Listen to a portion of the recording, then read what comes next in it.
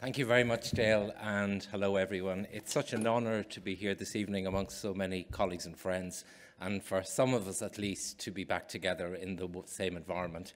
And welcome to all those people who've joined us virtually. This is truly a momentous occasion for the axial SPA community. And by that, I don't mean just people living with axial SPA or healthcare professionals who are striving to improve the quality of life for patients with axial SPA, but more importantly, all of those patients who have axial SPA but don't know that, who have been hampered on their delay on their journey to diagnosis.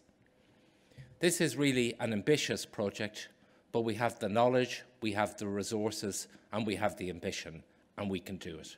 But we need your support. Little did I think when we sat down in Amsterdam two years ago, and it's almost two years to the day when Dale, Raj and myself sat down and sketched out this programme, that it would come to fruition in such an enlightening way. This is truly a professional, outstanding document which outlines the key barriers to diagnosis and the key solutions. And we're very, very honoured that we've been able to put together such an ambitious programme.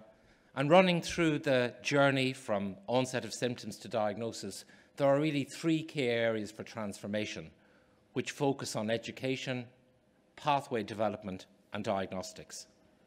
I'm just going to share some aspects of this with you briefly.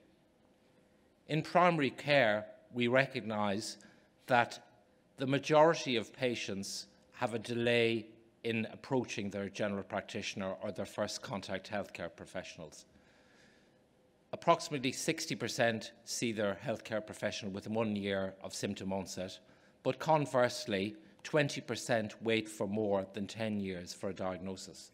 So there's clearly an impasse between presentation in primary care and subsequent diagnosis.